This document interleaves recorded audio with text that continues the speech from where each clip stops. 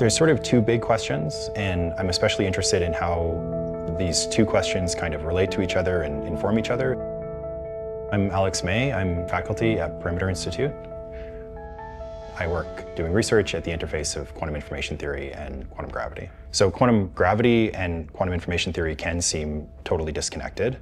And they seem that way if you think about them from the perspective of what kind of questions are they trying to answer. I'm from Langley, BC, just outside of Vancouver. Um, so I'm one of a, a handful of Canadian faculty members at Perimeter.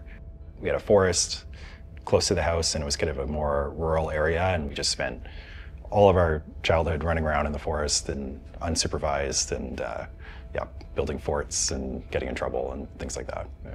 So the picture here is like I've taken the, the boundary of this cylinder and I've sliced it open and I've rolled it out on the page and, and that's this thing here. I think I, I think I love the challenge, the way in which you can become totally absorbed in it. When I'm working on a research problem and I'm, I'm really in the throes of it, like I'm thinking about it all of the time. It's just really satisfying to be connected to your work in that fullness of, of a way. It can also be very beautiful. There's things I've learned about physics or, or discoveries I've made that just are you know, I find really striking and, and, feel a sort of mystical or cosmic sort of sense of connection with the world when you are fully wrapped up in this problem and, and you've understood something. And um, yeah, there's a sort of feeling of connection there, I think.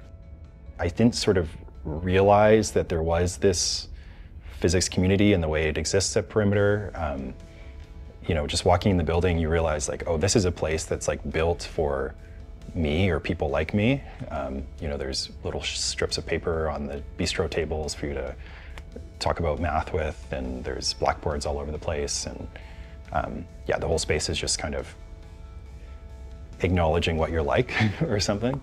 Uh, and, and, yeah, so that felt great. Uh, well, since I've moved to Waterloo, I, I, I bought a house and uh, I've been renovating my basement.